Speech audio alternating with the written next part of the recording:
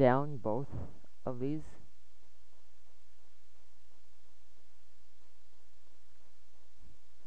Now move about one second forward in time.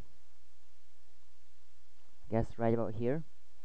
And set keyframes for both position and scale. So click the stopwatch icons for both layers.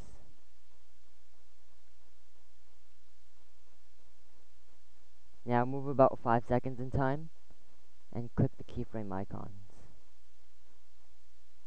for both layers also. Now go back to the very first frame and let's animate this out. Select your America layer. Select your America layer and drag it out here and grab one end and drag it to the other end. That should flip it and just increase the scale. And just drag it out of the screen. And do the same with your Iron Chef layer.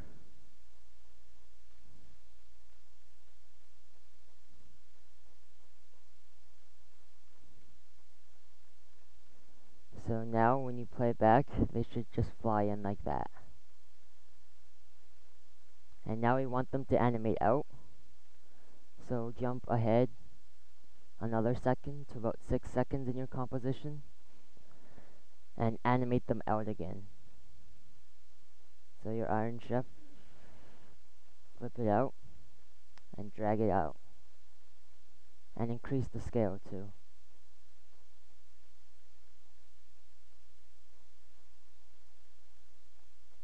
And of course do the same with your America layer.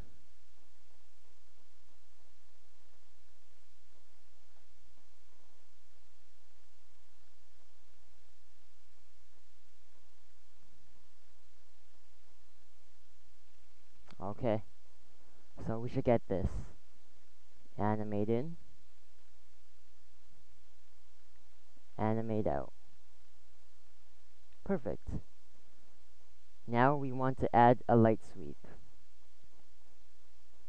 So I'll just throw this up and in your effects and presets type in CC light. Let's get rid of that. And drag in the light sweep to both layers.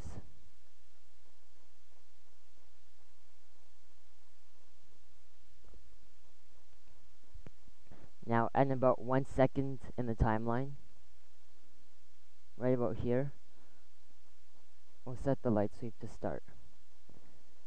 Now, in the direction, play around with it until the light sweep disappears.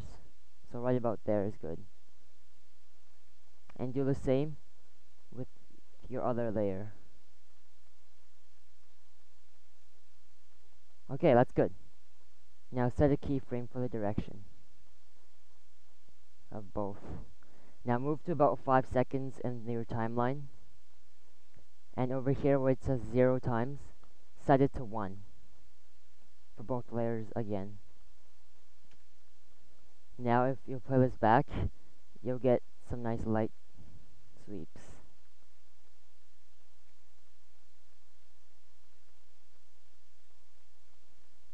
Okay, and that's it for text layer. Select both and go to layer, pre-compose. Now to compositor logo, simply place all three pre-compositions into a single new composition in the order shown. Knife, text, and flames at the bottom. If done correctly, you should have something that looks like this.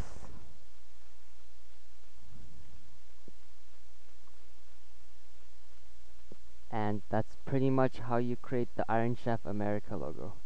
Thanks for bearing with me for all these parts. I know this was a really long tutorial, but I hope you learned something in the process.